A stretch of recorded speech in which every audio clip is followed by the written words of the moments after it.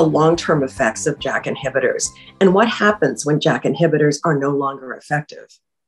Yeah, great question. So, so far, um, the, the patients that have been on JAK inhibitors for a long time don't seem to have the development of additional toxicities that we didn't know about. So I'll just comment on some of the things that we do know about.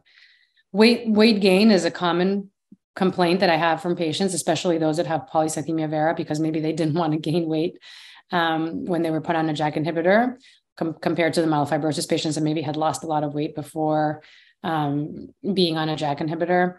Um, there are certainly higher risks, probably, of developing infections with some of the JAK inhibitors. And we see, for example, shingles reactivation being a common one. Um, and there's the concern of development of skin cancers, which has been seen with, um, with some JAK inhibitors. Uh, but generally speaking, long term use seems to be safe. That being said, you know, ruxolitinib, which is the oldest one to be approved, has only been around since 2011. So we don't have decades worth of experience to know. Um, when JAK inhibitors stop working, to answer the second part of your question, um, until fairly recently, we really didn't have a whole lot to offer because there was only one JAK inhibitor. Now we have two others. We have fedratinib and also pacritinib.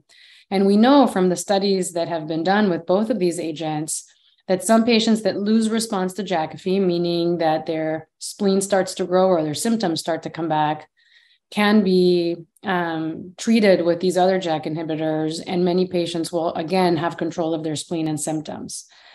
Now, losing response to a JAK inhibitor can come in many different ways, and so some participants, some some patients may also develop uh, signs of having leukemia or progression of their disease to leukemia. And unfortunately, for those patients, being on another JAK inhibitor doesn't make sense. So those those patients may need to receive other types of medications um, or, or a stem cell transplant.